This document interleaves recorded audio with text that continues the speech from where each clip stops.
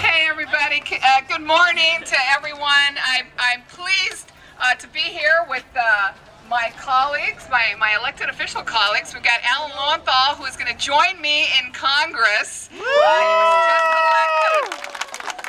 And uh, with my colleague Lula Davis Holmes who's from the city of Carson. Uh, so glad to, be standing with both of you. But you know what? I'm most honored to stand with all of you who have taken a day today uh, to give a little back of your time. The girls basketball team from San Pedro is here in the house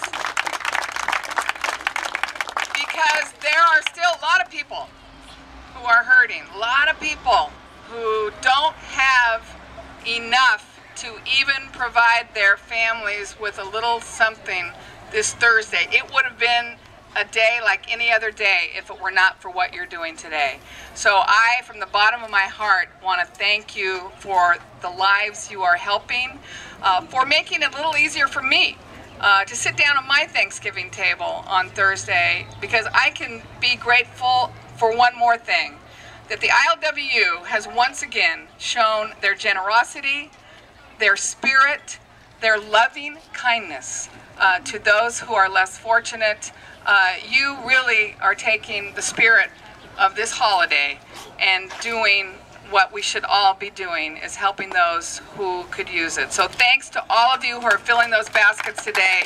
And on behalf of the United States Congress, Chris or Lisa, um, I have a, an official congressional recognition thanking you for your 15th annual Feed the Community event. It gives me great pleasure to present this to you.